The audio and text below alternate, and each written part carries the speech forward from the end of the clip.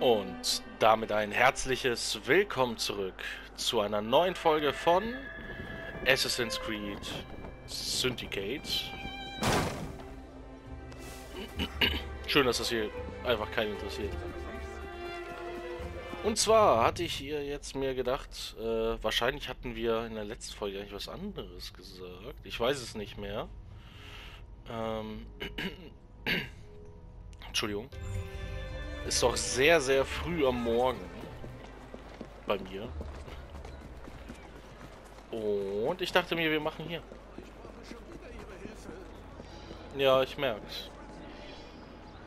Ein kunstvoller Plan. Helfen Sie John Hammond, das Herz seines Mädchens zu gewinnen. Alles klar.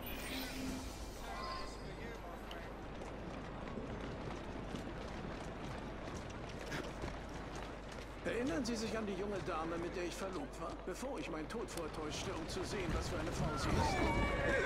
Nun, es gibt Neuigkeiten. Ich bin in sie verliebt und beabsichtige, sie zu So ehelichen. ist's recht. Und dabei brauche ich Ihre Hilfe.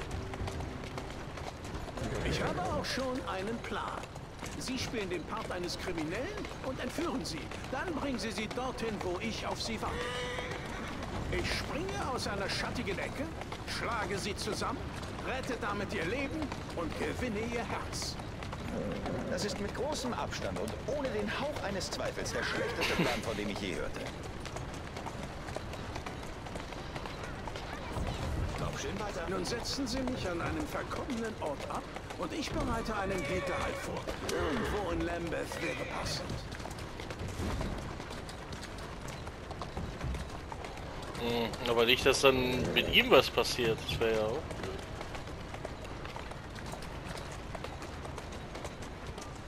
Braves Mädchen.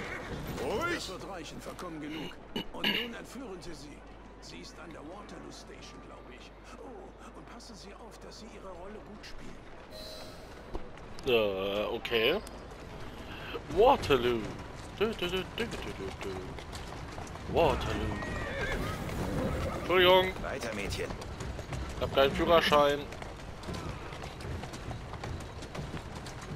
Ich war ein bisschen vorsichtiger für meine Verhältnisse. Aus dem Grund, da ich ja die Kutsche nicht unbedingt beschädigen will. Wer ist ein gutes Pferdchen? Du bist das. Gut so, Mädchen. Hui. Oh, ich habe die Ausfahrt verpasst. Ganz ruhig. Ja, spring. Spring vor die Kutsche, auch gut. Warum nicht?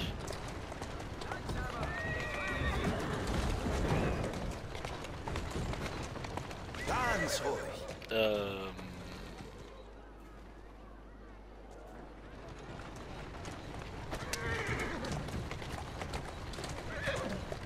Ruhig, Mädchen. Ruhig. Ich hasse das. Ich finde bei den Dingern immer so schwer den Eingang.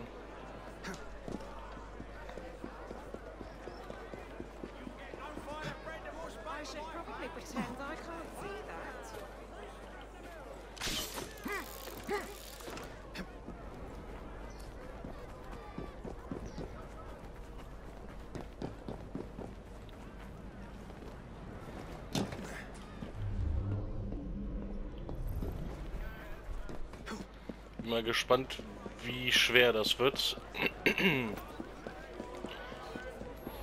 Weil wenn sie glaubt, entführt zu werden. Hm. Achso. Siehst du, da sind sogar Cops. Die jetzt sterben müssen, weil jemand der Meinung war, seine Herzensdame zu veräppeln.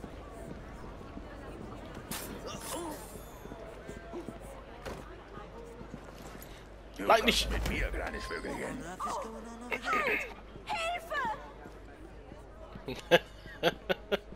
Hat er das gerade wirklich gemacht? Du kommst mit mir, kleines Vögelchen.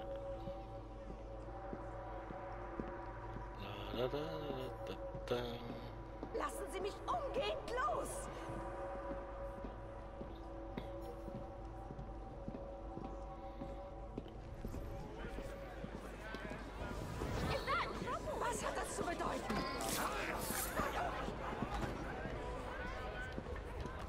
Hallo.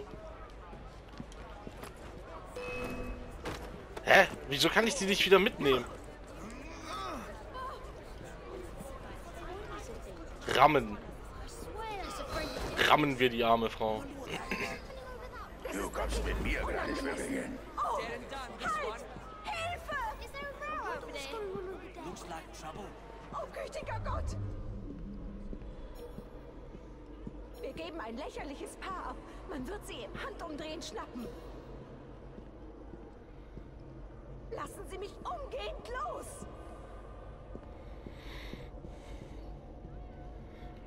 Kann ich denn nichts tun, damit Sie mich freilassen? Nee. Was hat das zu bedeuten?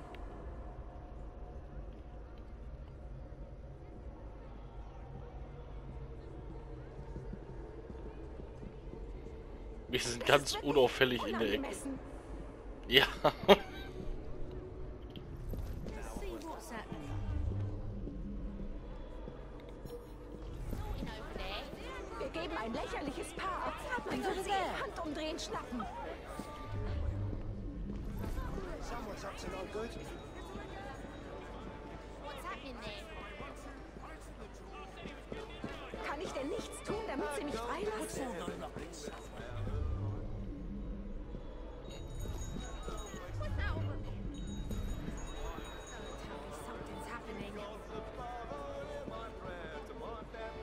Warum gehen die so rückwärts runter? This better be good.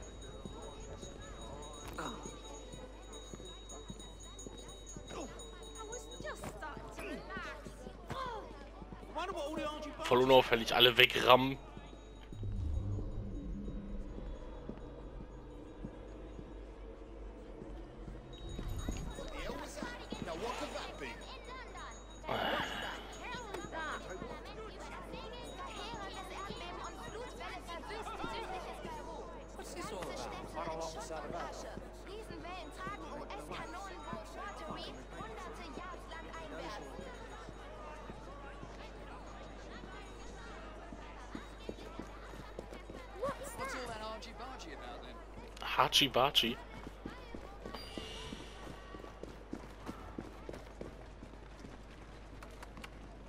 La la la la la la la.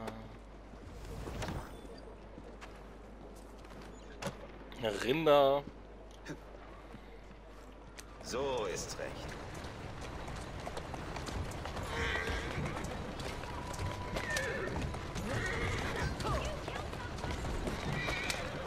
Glaube, da stand gerade unsere Kutsche.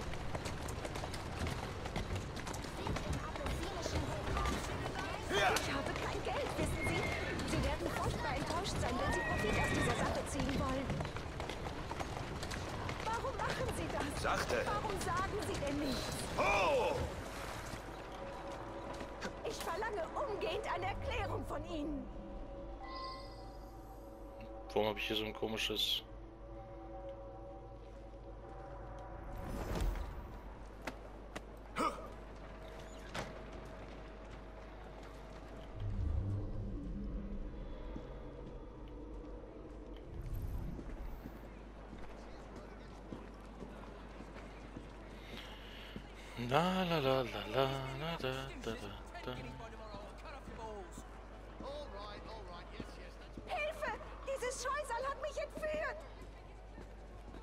Gib sie frei, und zwar sofort. Ich werde sie retten, Madame. Denn ich bin John Hammond, dein Verlobter. Was? En garde!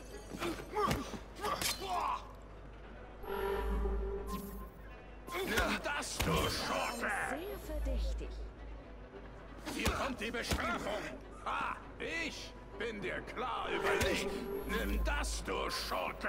Erklärt mir jemand, was vor sich geht? Wieso ist sie misstrauisch? Verstehe ich Die nicht. Bestrafung. Ich bin dir klar überlegen. Eine List? Das habe ich mir doch von Anfang an gedacht. Hä, ich verstehe das nicht.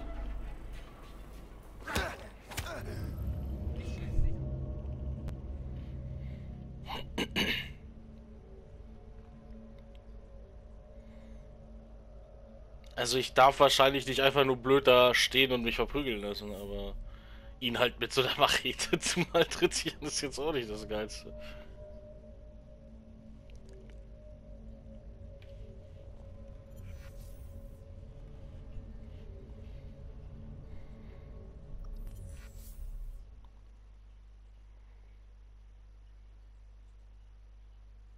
Zwar sofort. Ich werde sie retten, Madame. Denn ich bin John Hammond, dein Verlobter. Was? En garde.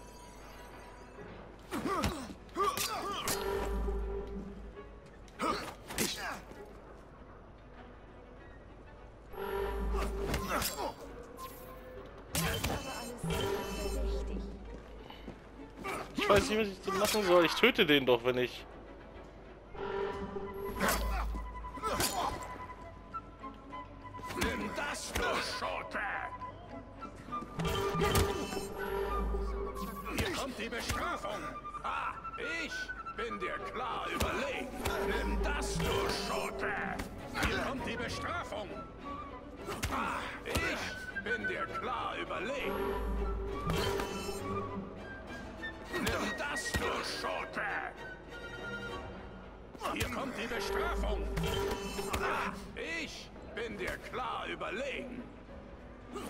das, du Schote! Welch glücklicher Zufall, dass Sie hier waren, um mich zu retten. Nicht wahr? Und wenn du erlaubst, meine liebste Bella, werde ich vom heutigen Tage an stets an deiner Seite sein, um dich zu beschützen. Komm, meine Liebe, lass uns von diesem schrecklichen Ort verschwinden, dann werde ich dir alles erklären.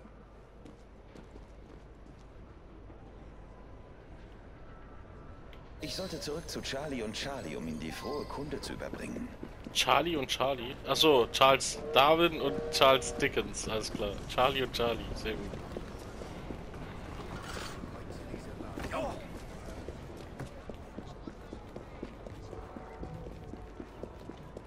So weit ist es ja nicht.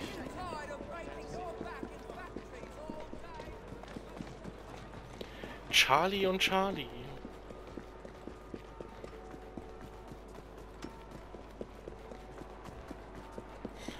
Müsste das hier nicht auch so ungefähr die Zeit gewesen sein, in der Charlie Chaplin geboren wurde? Charlie scheint ein sehr beliebter Name zu sein in England.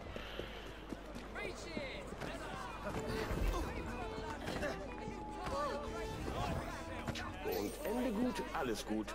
Unsere Frischverliebten sind endlich zusammen und werden bald heiraten. Über Geschmack lässt sich eben nicht streiten. Nun, so wie ich sie kenne, würde er das nicht überleben.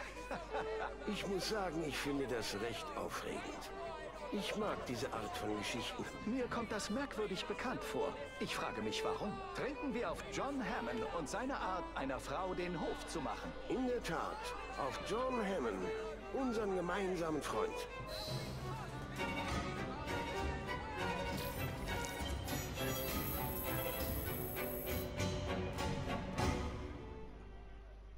Tja. John Hammond. Ich muss die ganze Zeit an äh, John Hammond in, aus Jurassic Park denken. Ähm. So, da hätten wir eine Mission. Dort hatten wir auch noch etwas. Oh ja, das machen wir. Aber ich glaube, das ist noch nichts für diese Folge. Ähm, dann wäre vielleicht das hier doch etwas besser für diese Folge. Ja, jetzt habe ich es wieder markiert. Egal, wir müssen eine Schnellreise machen. Ähm, ja, für nächste Folge könnte tatsächlich die Detektivgeschichten wieder äh, sein. Das würde mich interessieren. Diesmal scheinbar dann auch in dem Palast.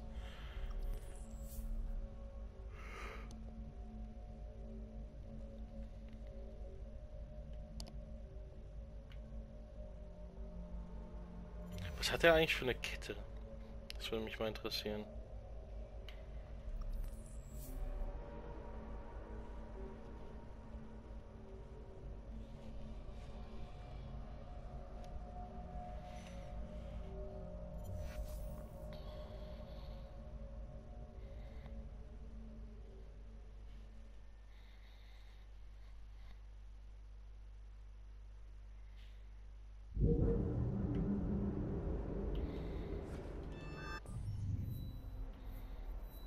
So, Da wollen wir hin.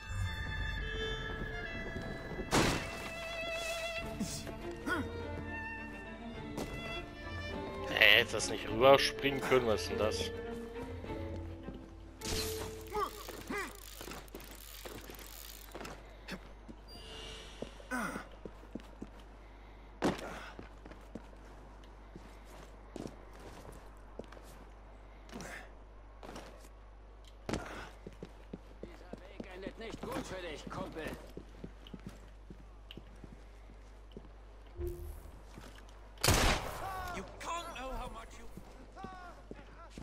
Keine Ahnung, warum ich nicht auf der Pistolen war, aber wahrscheinlich hatte ich in einer der letzten Folgen eine Schleichung. Oh, der sehr steife Besen.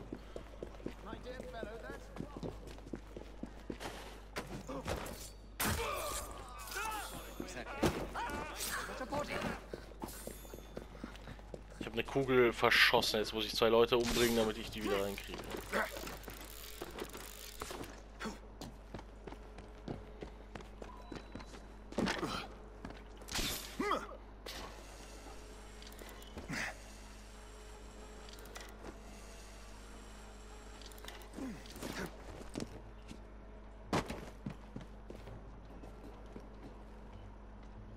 Da unten.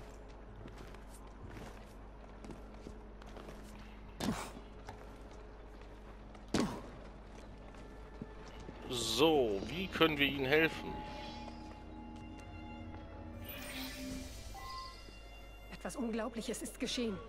Ein Polizist verhaftete Mr. Darwin, als sei er ein ganz gewöhnlicher Krimineller.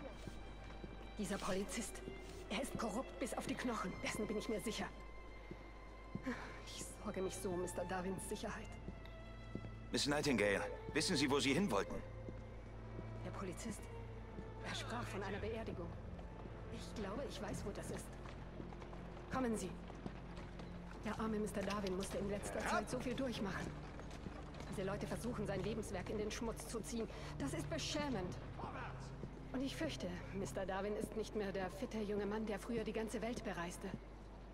Da wären wir. Hier finden die Beisetzungen statt. Ich warte hier. Alles klar.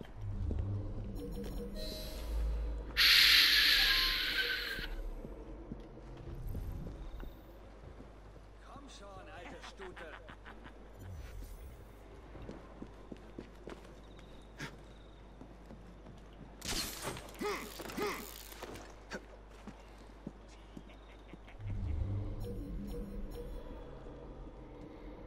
Oh Mann. Ich glaube, da das. Ah, verdammt. Ein bisschen ausdünnen vielleicht.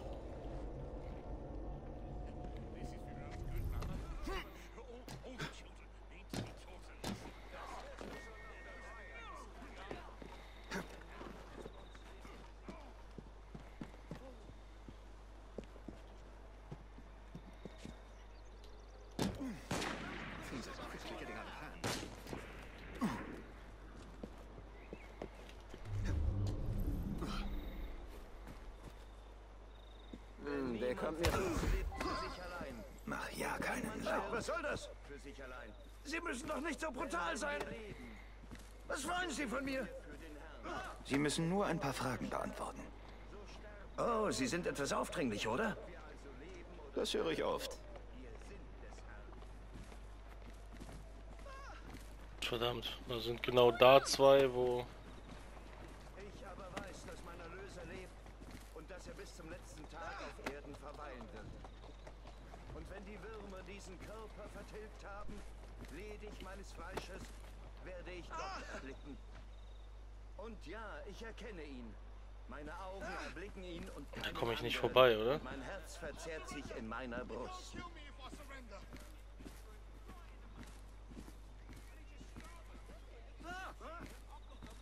Ich bin die Auferstehung und das Leben. Derjenige, der an mich glaubt, der wird leben, auch wenn er stirbt. Verdammt, wo ist denn hier der Ausgang? Oh, scheiße. Nein! Niemand von uns lebt für sich allein. Und niemand stirbt für sich allein. Denn wenn wir leben, so leben wir für den Herrn. Und wenn wir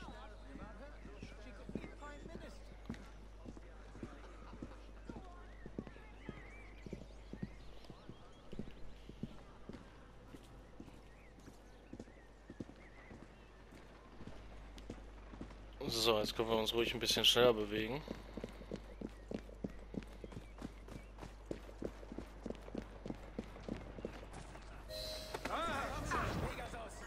Ich habe nur Befehle ausgeführt. Einen alten Mann verhaften und Gott weiß, wohin zu verschleppen, ist eine feine Arbeit für einen Polizisten. Und nun, Sir, sagen Sie uns, wohin Sie Mr. Darwin gebracht haben. Ein Mann bezahlte mich, damit ich ihn zu seinem Lager bringe. Wie furchtbar. Wir werden eine Kutsche brauchen. Hab da eine.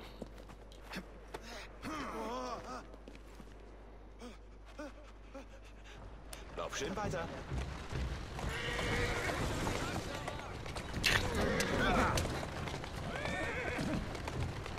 Oh ja, das ist ein Stück. Braves Mädchen.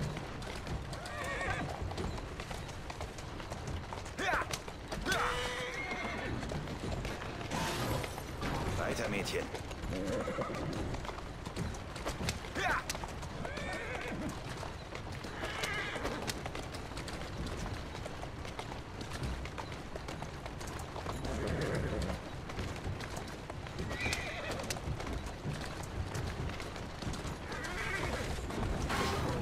Nicht so schnell. Oh, wir sind schon da. Auf geht's. Alles Das klar. Boah, das sind ja nicht so viele. Ne? Jetzt schafft ihn hier raus.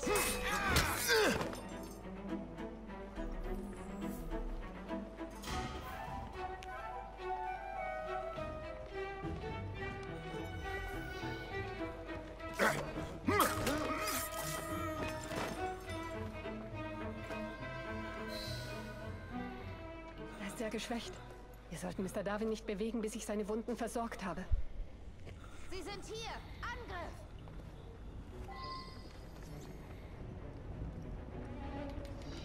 Hey, hallo?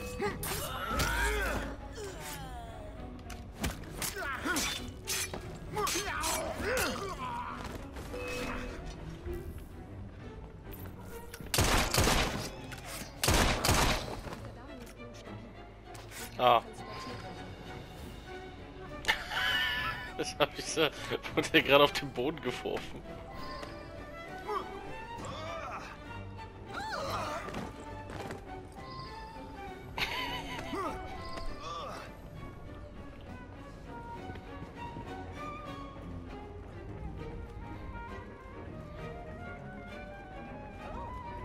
Wo wolltest du denn hin, Assassine?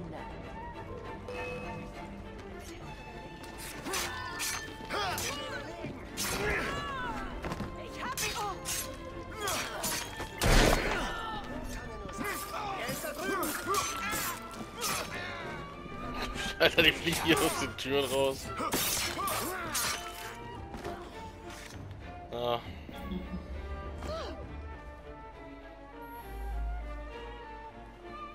Ah, verdammt, ich habe den natürlich genau so hingepackt, dass man da...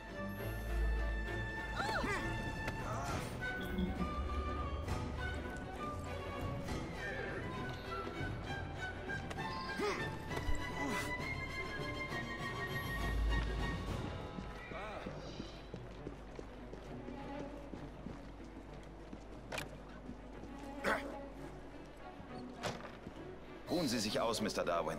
Meine Schwester und ich werden Sie bald besuchen. Na,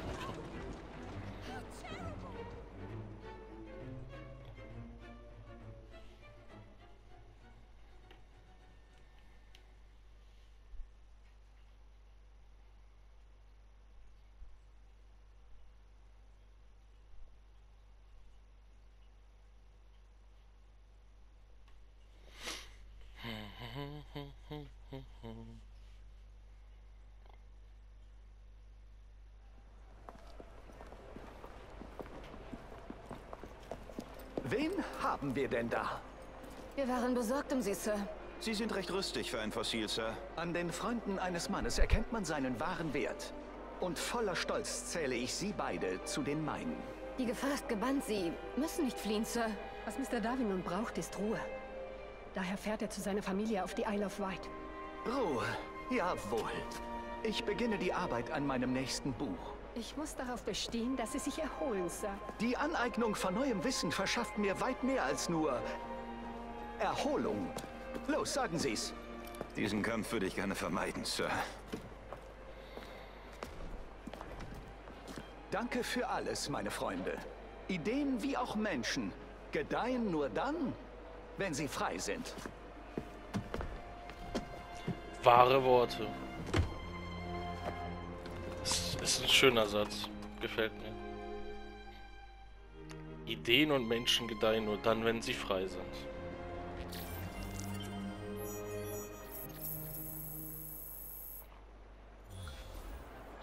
Ich denke, das war's dann. Huch, shit. Mit, ähm...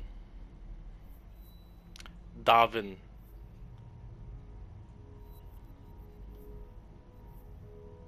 Und die Folge ist theoretisch zu Ende. Das heißt, ich kann schon mal hier hinreisen und wir sehen uns in der nächsten Folge wieder. Bis dahin.